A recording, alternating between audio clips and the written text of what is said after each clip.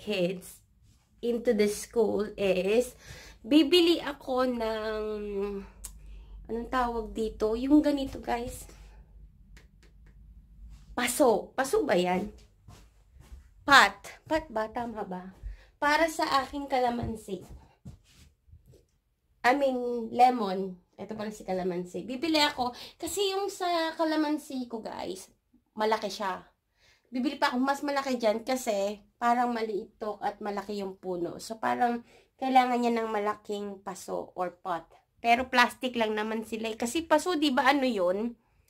Yung nababasag yung ganito, ang hina talaga. Pag umaga guys at walang almusal, ang hina ng signal. Pagpasensya nyo na ako.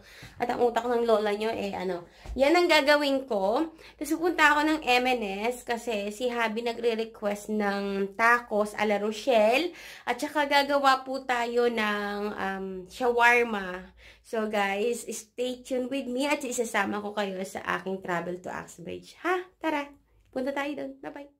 Ready na tayo. Daladala ko ang aking bag. Nag, ano lang ako, jacket ng um, tama ang kapal kasi sabi ni Habi medyo mainit daw mamaya. Naka-t-shirt lang ako underneath that. At saka naka ano ba tawag Yung pang yoga. Yan lang. At saka ano, black shoes. Yan lang po. At dadaling ko ang aking mahiwagang trolley kasi kakailanganin ko to.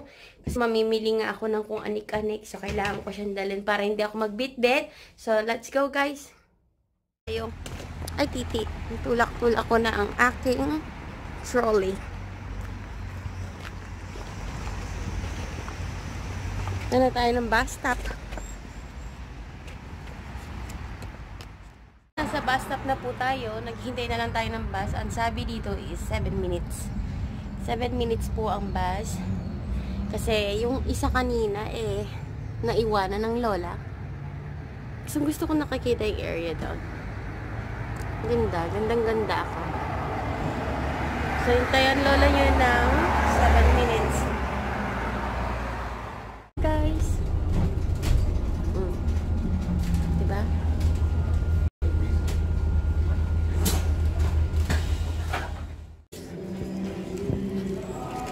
May kumakanta doon. Sa Axbridge na pala ako. Nakalimutan kong mag-vlog. Pag galing na ako ng Lido at galing na ako ng Maxi Store, na pupunta na tayo ng M&S.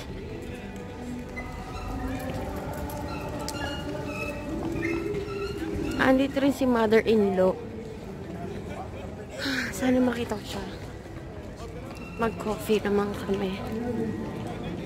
Sabi tayo M&S guys. I need to buy happy tacos.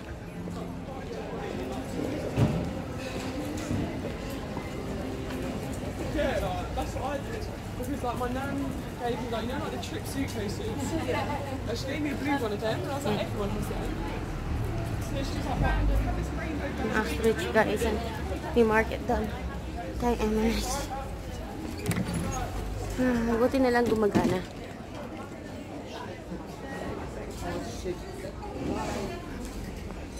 Yung mga sales kaya. Ganda ng mga swimsuit.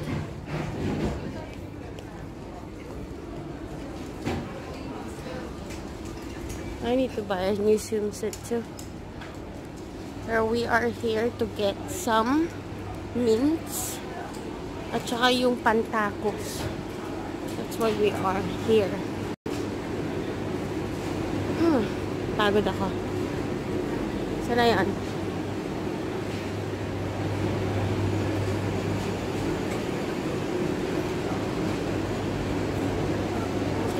Meat nila.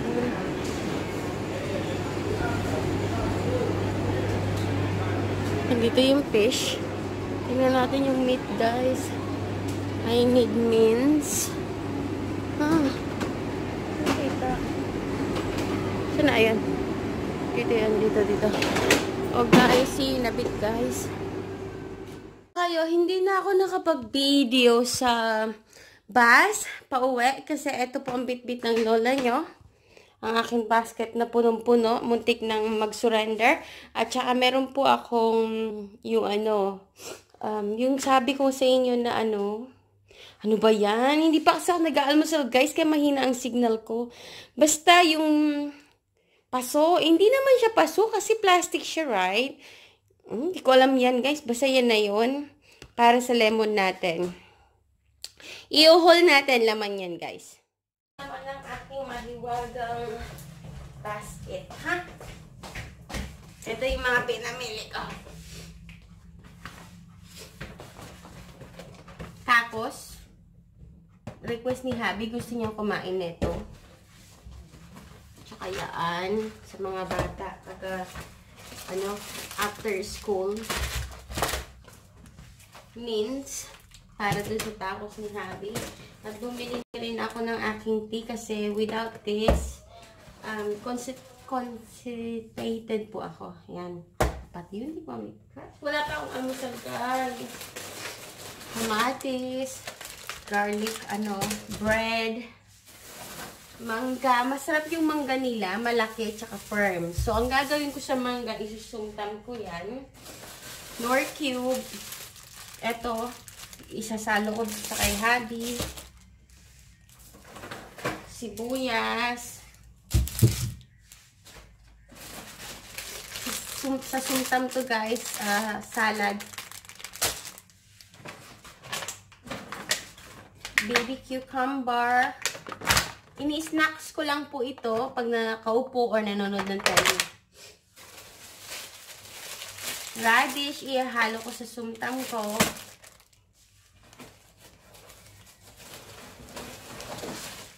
Potato. Ito guys, para to sa ano namin, um, sa curry na lulutuin ko sa church. Ito na, nagbili na po ako ng mga chicken. 1, 2, 3, 4. Apat po yung binili ko. The reason why, kasi may 2 pack pa po ako sa fridge.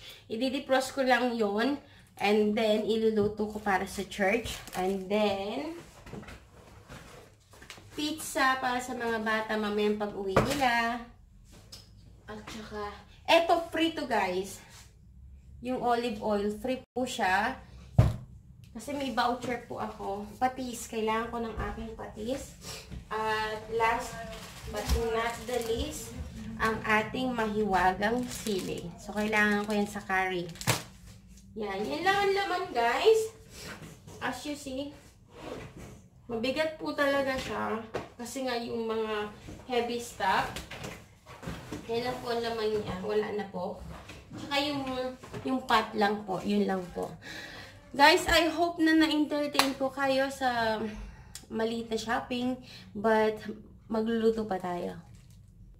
Guys, unahin na natin i-ano yung lemon ko, ha? Tara, samahan niyo ako magsalin ng lemon dito, ha? Yan guys, i i-repot na natin yung ating lemon. Ano ko? Ay, shit na ano. Lupa to guys. Kulang yata ang aking lupa. Ang aking lupa.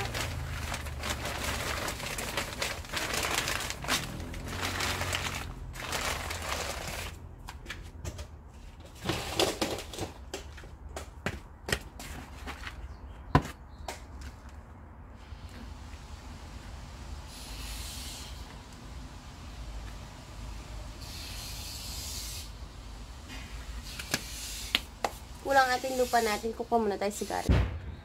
Guys, nag-check ko si garage ng lupa. Wala. So, kulang natin yung lupa. Pero for now, work with it.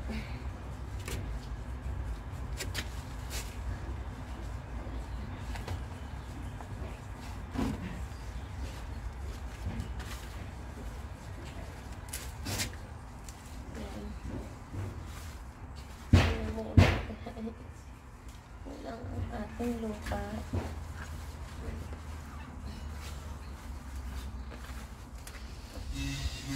Ating super kulang. Maganda na kasi yung panahon dito ngayon guys, kaya majority of people nag-garden na sila.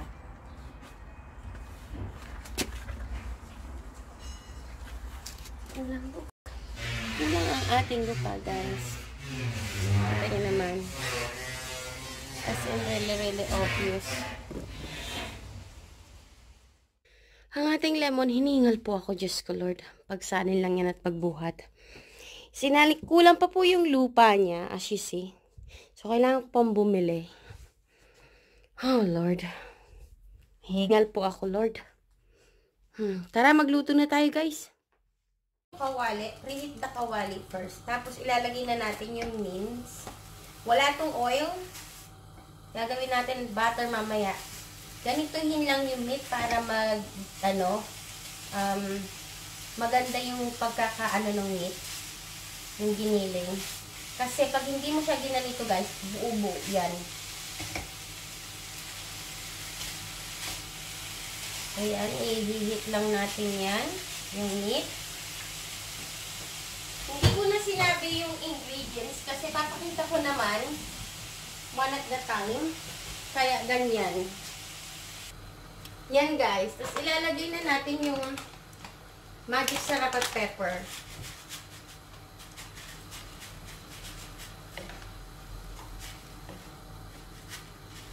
This is how I cook my, ano, yung request ni Habi. Yan.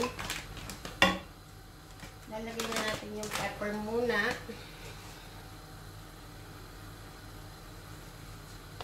Yan. Tapos ilagay na natin yung taco mix. Madali ang luto lang to guys. Actually, it's up to you kung anong gusto mo unahin. Kasi mag-blend in naman yan eh. Tapos niya na ilagay na yan. Stir lang muna natin para mukhang ano, uh, maganda. Tsaka mag-blend yung mga seasoning sa meat. Wala tong oil o butter at the moment guys. Pero lalagyan natin siya ng butter mamaya. Okay? Now, lalagyan na natin yung onion.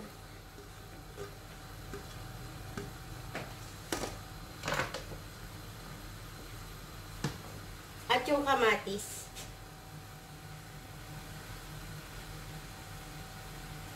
Ay, nakikita niyo to guys, kasi meron ako sa rep, konti lang. So, ilalagay ko na rin siya. Aanin ko siya, um, hihiwain ko ng, ano, pahaba. Iniisip ko pa sa English eh. Tagalogin na lang. Yan. Ngayon, guntingin na lang natin para mas madali. Ganyan guys. Gaganyanin ko lang siya. Ayan guys, nalagay na natin yung beans. Ngayon, lalagyan natin siya ng kuju, kujujang. Tama ba? Gochujang. Mga ganyan. Yan, tama na yan. Maanghang kasi yun eh. Chili paste, basically chili paste to. Gochujang. Pwedeng hindi. Pwedeng yun nasa sa inyo nga. Pwede nyo siya lagyan o pwedeng hindi.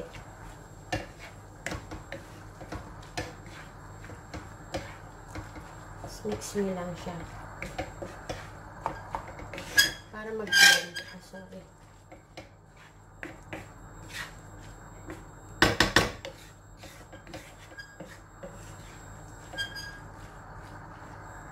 Tapos, ngayon na. Ngayon na natin lang yung butter.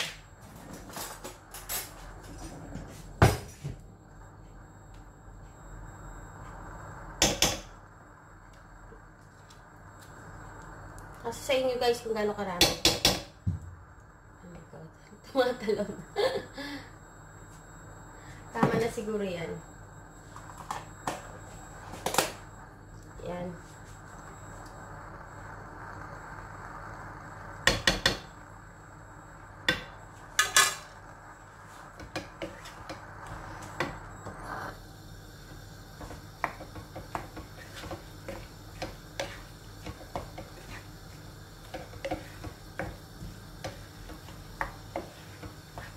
Habi gustong gusto niya to guys. Yan. Tapos ilalagay na natin ang ating Heinz baked beans. Yan.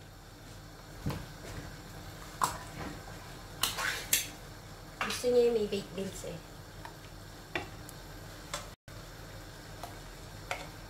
Pwedeng wala. Nasa sa inyo guys. Pwedeng walang baked beans o pwedeng meron. Nasa sa inyo po. Lagyan natin siya ng tubig. Istal natin siya dito.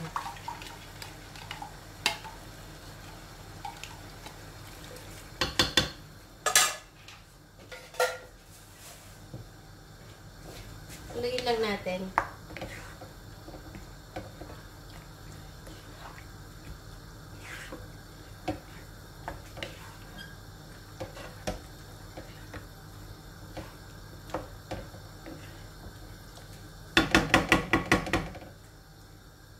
Tapos ilagay na natin yung cheese, guys. Any cheese will do. Eto kasi meron ako neto. Available siya. So, yun na lang. Nasa sa inyo rin, guys, kung gaano karaming cheese ang gusto niyo ilagay. Kung gusto niyo siya ng cheesy, kayo yung bahala. Kayo na rin bahala magtansya-tansya. Kasi guys, hindi ako nag-measure talaga. Tansya lang po talaga ako. Yung boses ko halatadong gutom. Nagluluto ako guys habang nag snacks So super gutom na po talaga ako. Ah, nag ano lang ako guys, nagtilang ako this morning nung piniprepare ko yung mga bata at pinapakain ko ng breakfast bago ko ihatid sa school. Yun lang po, tilang, kapot tea. And it now is 12.30 here in the UK.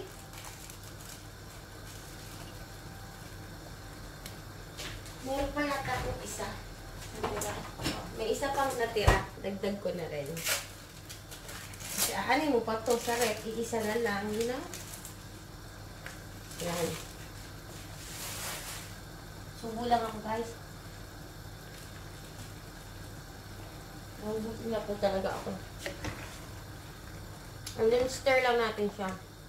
Tapos hayaan natin siya maluto ng kusa. Mag mag-melt ng kusa. Gagawin natin eh, i-reduce lang natin yung sabaw niya. Patutuin lang natin siya ng konti. Kasi ayaw naman ni Habi ng masabaw to. Kasi ilalagay niya dito. Tapos lalagay niya ng lettuce. Kung gusto niya ng lettuce, paghihiwa ko siya ng lettuce ng, ng pino. So, i-reduce lang natin siya, guys. And then, tapos na to. Mamaya, pakikita ko sa inyo pag inassemble ko na kakainin na ni Habi. But for now, nag-blurred. For now, tapos na po ito. I-reduce ko lang yung, ano niya, ang kanyang um, sabaw. Okay, guys? Sana nagustuhan niyo, guys.